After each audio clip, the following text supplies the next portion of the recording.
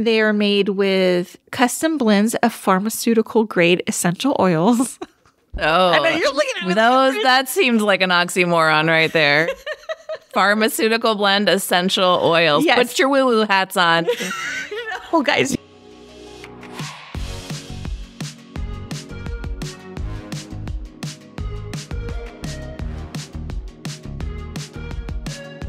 Welcome to Approved with Megan and Wendy, the podcast where we share one product every week that we're currently using and loving. We're your hosts, Megan Samarin. Wendy Nielsen.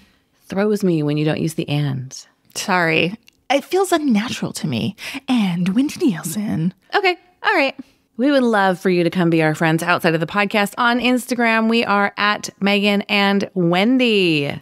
You guys, I'm dying to hear what you're using. Please. Email us, Megan and Wendy at gmail.com. Even if you're thinking like it, it doesn't even have to be groundbreaking. You bought a new dish soap. You got some new, whoa, something for your tummies. I don't, could you hear Yes. how audible my stomach was? Wow. Anyhow, anything that you're using and loving, we want to know.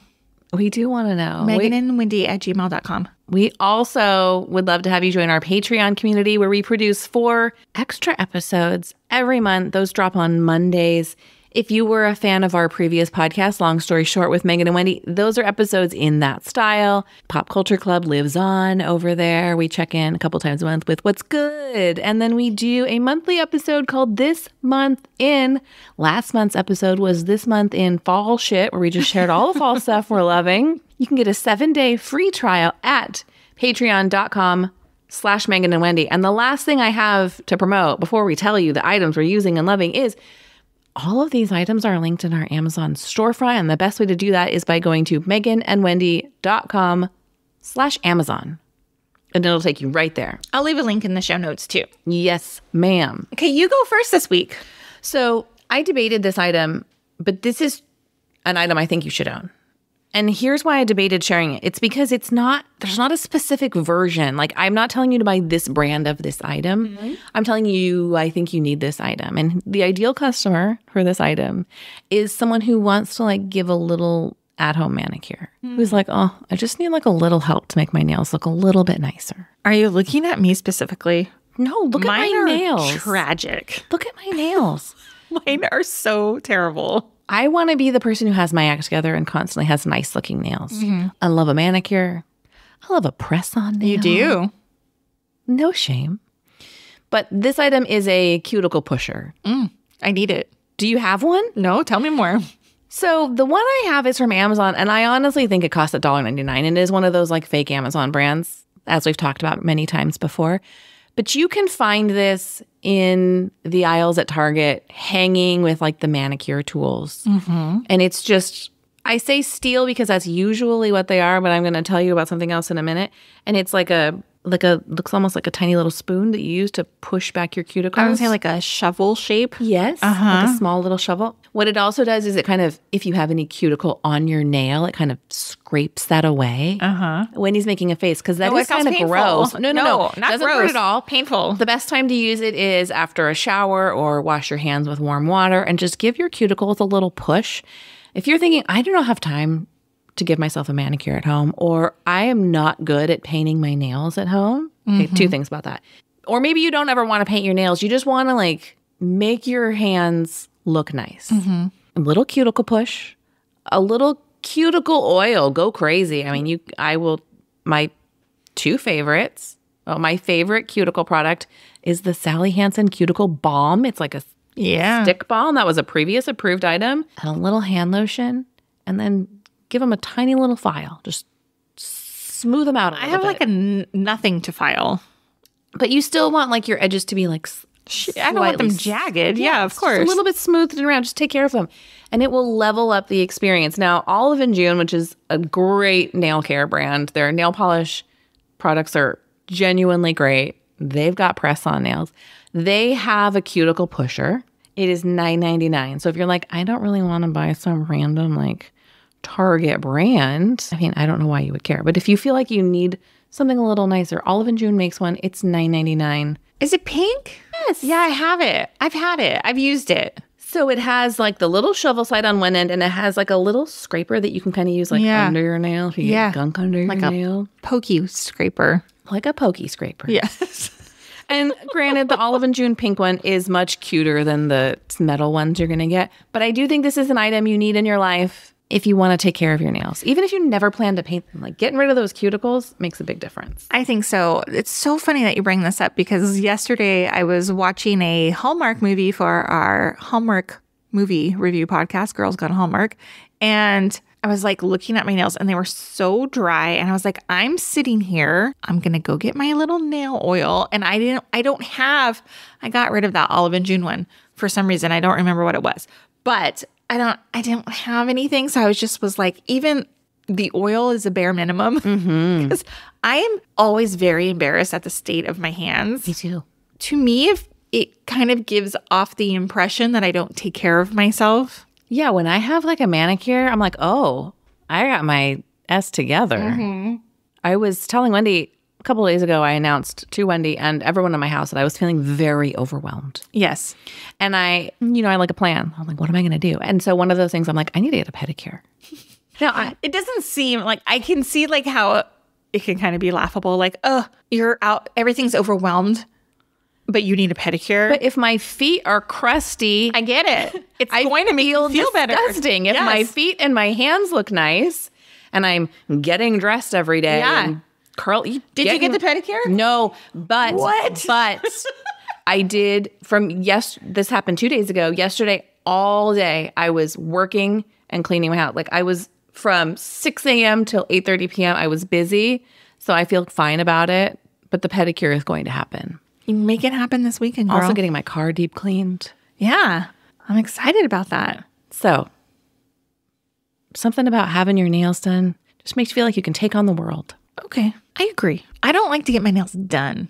I've lost the patience for getting my nails done. I can't sit there in a salon chair for an hour. It, like the thought of a pedicure even makes me kind of like, oh, I don't. I sit just there. I need a pedicure. It's gotten beyond what I I need. At least with a pedicure though, your hands are free. Mm, yeah, so you can look at your phone. So you can look at your phone, you can I bring my Kindle. There are things that you can do during that time. Mm-hmm. But getting your nails done and having your hands trapped for that hour. The last time I had my nails done was holiday season 2022 and I it took almost 2 hours oh, and God, I was yeah. about to it, they looked great, but I was going to come out of my skin. Yeah, I can't do it. I don't have the patience. I sit there and think about 800 other things I could be doing during that time. I like to stay productive. Which is something we should revisit at some I point in the future. I know. But I feel the same way. What'd you bring this week? Super random. I was easily influenced on Amazon. I got served an ad during their Prime days. It was it's not their normal Prime Day sale, but it, they had one recently. Yes. It's called a Boom Boom nasal stick. Hear me out. Do you remember like a Vicks Vapo inhaler stick that would have like if your nose was stuffy and it has like I've seen one, yes. and camphor and you put it up in your like nasal cavity and take a deep breath and That it, seems aggressive. it's not aggressive. You don't put it way up there. You really you put it like here at the front of your nostril and And you breathe and clears your sinuses. Yes. These essentially same delivery method, but they are made with custom blends of pharmaceutical grade essential oils. Oh, I know, you're looking at me those. That seems like an oxymoron right there. Pharmaceutical blend essential oils. Yes. Put your woo woo hats on, oh, guys, y'all. We we're pro vaccine and science. listen to me. Listen to me. This item did appear on Shark Tank at one time. Okay. They did not get a deal. Oh, I bought a four pack. They were twenty four ninety five. That's the current price. I think they were a lot cheaper on the Prime Day. you didn't scroll back in your. I, I didn't really look. Couldn't I give don't, up. I don't. It's so funny. Bum, something, bum. something comes bum. over me where I'm like, I need that. Click buy. It's on my doorstep in two days. Sure. You know, but the four pack I bought comes in a tropical mint, winter mint, and lavender. So like think about like lavender at nighttime. I'm taking a deep breath, imagining it. You put that, and then you go, okay, these are the claims it makes. It helps with nasal breathing, supports elevated vibes.